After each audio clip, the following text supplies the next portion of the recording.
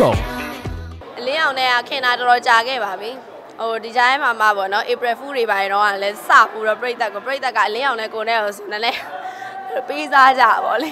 ပြီးတော့ဟိုအဲ့လိုတပ်ပုံတွေပါတွေကလည်းဖတ်တာတွေပါတက်လာဘူးတော့ပေါ့နော်ဒီကားမှာဆိုရင်သူနဲ့အဲ့လိုချစ်ခန်းကြိုက်ခန်းနေပါတယ်ချစ်တာမှအဲ့လိုမျိုးပေါ့အရန်ဘလူးပလဲခန်းနေပါတယ်ပေါ့နော်အဲ့လိုမျိုးဆိုတော့ကိုကသူကြည့်နေတဲ့အချိန်မျိုးတွေပါဆိုကိုကဒီဘက်ကနေရိုက်လို့မရအောင် အဲ့လိုပဲသူ့နန်းနေတော့ပါတယ်ဆိုသိရမလားတကယ်ချင်းဆိုတော့လေအဲ့လိုအချင်းချင်းဆိုတော့ရှက်နေကြတာပေါ့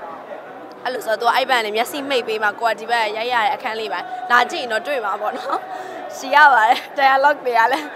အဲ့လိုအခန်းလေးလည်းပါတယ်ဆိုတော့အဲ့ဒါကတော့အမှတ်တရပါသူနဲ့ကတော့နောက်19မှာအခုမေဇက်ကားကြီးတွေရိုက်နေရယ်